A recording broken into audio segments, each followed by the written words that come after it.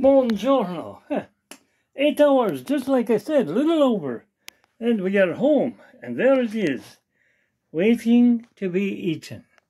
It spilled a little bit over the edges because it was very, very, very juicy. You see, we take this and we take it off. We don't want that on.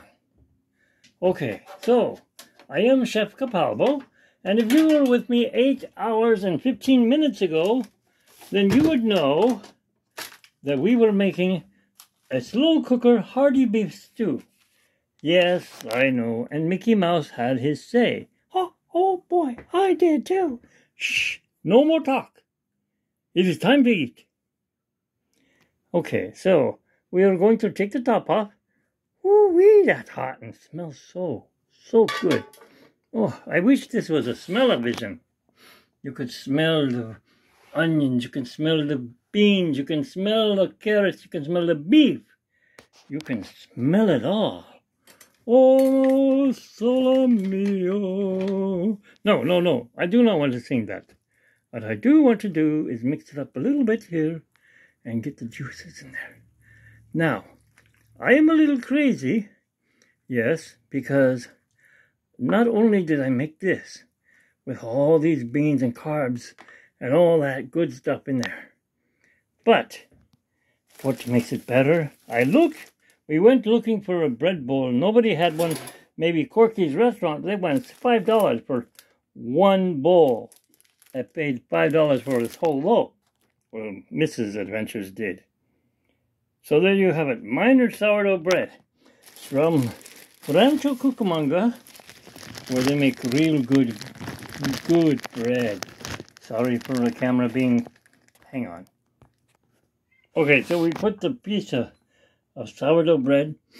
Oh my goodness, it smells so good. Been driving all day, making money for from the Grubhub. Okay, enough of that. And Uber Eats and DoorDash where they can kiss my butt because they don't want to give us trips. Okay, so what do we do? We get some potatoes and some juice. Oh my goodness, look at that.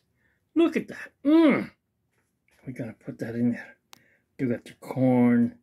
You got your beans. You got your carrots. You don't have this. I don't do onions. Put that over there. I know what an onion looks like, so it's easy to dig out. I want some beef. Okay, down at the bottom. Yes, look at that. That's what we're talking about, some beef. And I get some more of these potatoes. Oh, potatoes and more beef. Yes. Look at that. That is so good. Oh my goodness. Now it is going to be too hot for me to eat right now. It's been cooking for eight hours. So there, that's enough for now. And I'm ready to eat. Now Mrs. Capalbo, she'll have to come and get hers. Well, there you go. That's what it looks like. You can see it sticking out of the bowl. And of course there's Mickey. Ah, enjoy it. Ah, oh boy. Yes, Mickey, we will. Thank you for watching. Don't forget to subscribe right here. And have a great night. You should try it.